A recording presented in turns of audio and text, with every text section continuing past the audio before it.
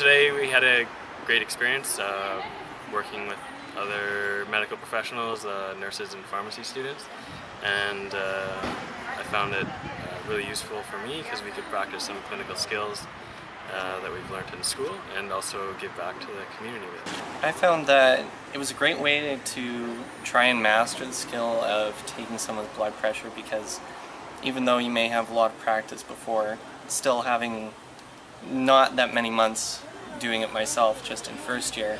Um, I think having that backing and really learning it well will help me come back to it later if I ever have a time where I'm, I'm not practicing it as much.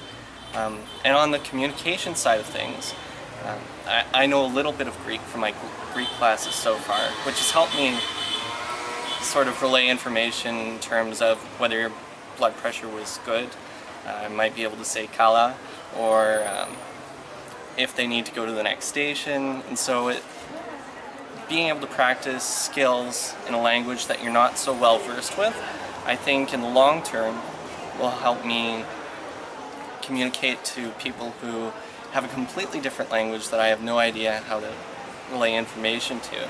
And so using nonverbal communication and being able to respond or work with a translator as we were able to work with some student nurses and student pharmacists really aided that.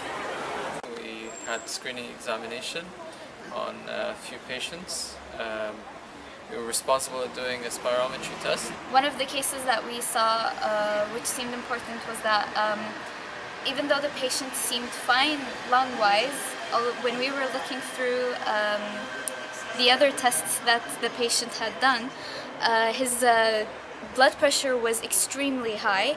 And so when we asked him if he had a history of high blood pressure he said that he did. However he is taking medication which gave us the clue that it wasn't really well controlled. And so we referred him to the doctor. Um, this shows us that it's very important to do screening exams uh, and to look at the patient as a whole, not just to focus on one problem.